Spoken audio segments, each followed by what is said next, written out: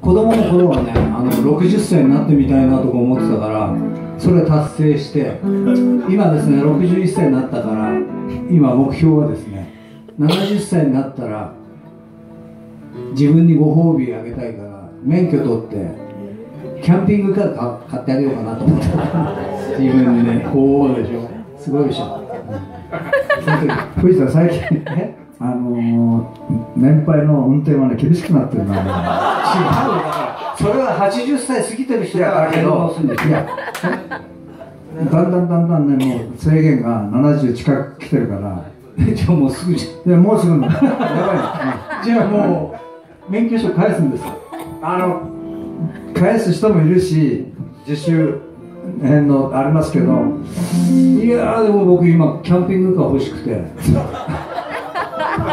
というのもねあのもうテントは持ってるんですよ。10年ぐらい前から持ってるんだけどまだ1回しかキャンプ行ったことない。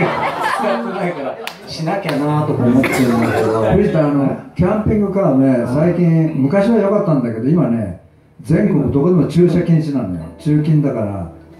いや今流行ってんだよすごい多分それはキャンプ地の中だと思うんだけど。いやあのね結構あの道の駅っていうところであの泊まってる人とかいっぱいいるんだって。認めてくれてそうなんですよ。道の駅がそうじゃないです。やっぱりちょっと景色のいいなんていうの？海辺の海辺のなんていうかそういうとこ止めたいじゃない。だけど止められないんだよね。いやもうだからみ緑の服着たおじさんが。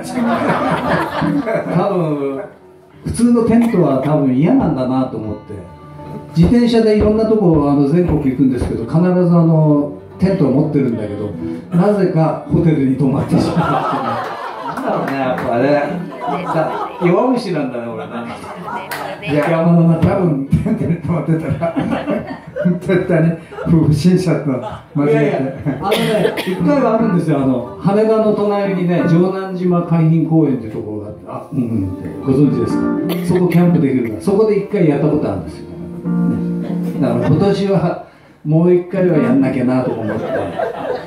一昨年あのねあのバーベキューセットみたいなの買ったから。それ使わなきゃとか思って。もうなんとか頑張ります。はい。